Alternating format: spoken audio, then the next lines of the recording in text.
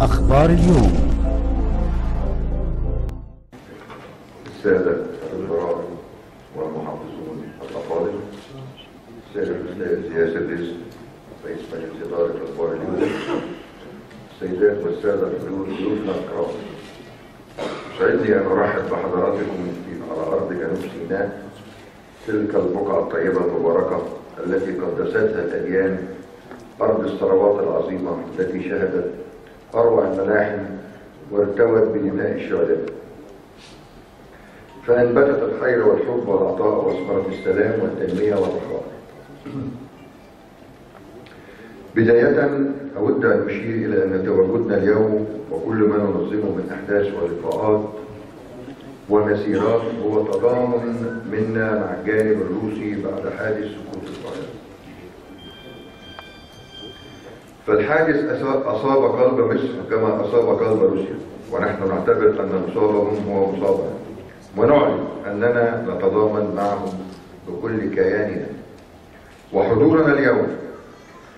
لنعلق أننا أتينا لنؤكد أن الحياة ستستمر. وأننا بتكاتفنا وإيماننا بالله الواحد. سنضيء بإذن الله شعلة الحياة التي حاول الموت أن يطفوها أعزائي لقد سعدت كثيرا بانعقاد مؤتمر أخبار اليوم لدعم السياحة تحت عنوان صناعة الأمل في بلد السلام. خاصة ونحن بأمس الحاجة بأن نتمسك بالإيمان والأمل في هذه الأيام. وأنني أعتبره اختيارا موفقا أن يتم إقامة مؤتمر لدعم السياحة في مدينة السياحة الأولى شرم الشيخ التي حققت طفرة سياحية غير مسبوقة ليس بين مدن جنوب سيناء فقط بل على مستوى جمهورية مصر العربية وعلى المستوى العالمي إلى أن احتلت مكانة متميزة على خريطة السياحة العالمية وحصلت على العديد من الجوائز المحلية والدولية وأصبحت مدينة عاصمة السلام العالمي. ضيوفنا الكرام تعلمون حضراتكم أن وصول مدينة شرم الشيخ إلى العالمية لم يأتي من فراغ إنما تحقق نتيجة لتضافر العديد من الجهود للفئات المختلفة وعلى مدى سنوات من العمل الدؤوب الذي الذي تم إنجازه في ضوء أهداف محددة كان أهمها الحفاظ على الموارد الطبيعية المتاحة بل وتعظيمها عدم المساس بالبيئه البحرية والنباتيه خلال عمليات التنمية حماية لبيئتنا الفريده التي تعتبر رأس مال النشاط السياحي. الوصول بمشروعات البنية الأساسية إلى المناطق التي لديها إمكانيات تسمح بتنميتها وأيضا التي تتمتع بمباريات سياحية لتنميتها سياحيا. مراعاة التكامل بين كل من التنمية الاقتصادية والاجتماعية والثقافية والخدميه وكذا السياحيه. وذلك في كافة مراحل التنمية.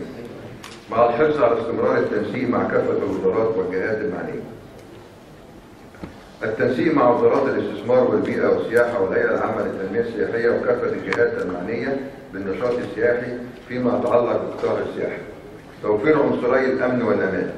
تعريف المستثمرين بكافة الإمكانيات التي تساعد على خلق فرص الاستثمار بكافه المجالات خاصة في المجال السياحي.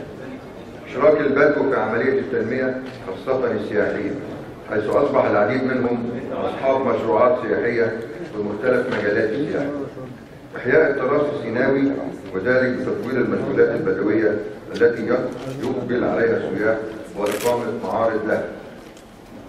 ضيوفنا الكرام شرم الشيخ هذا المنتجع السياحي الجميل الهادي الذي تعرض عقب عقب الثورة لظروف بالغة الصعوبه نظرا لتأثر السياحه سلبا نتيجة أحداث الانفلات الامني التي تعرضت لها مصرنا الغاليه. هذا المنتجع سبق وان تعرض لعدة أزمات سابقة خاصة بعد الضربات الإرهابية والتي كان لها واقعا مريرا اعتصر قلوب الجميع. وأيضا كانت هناك أزمة ظهور أسماك القرش إلا أننا كمصريين استطعنا في كافة الأزمات وخلال فترات وجيزه تخطي كل أزمة واستعاده انفسهم ودرء النتائج السلبية.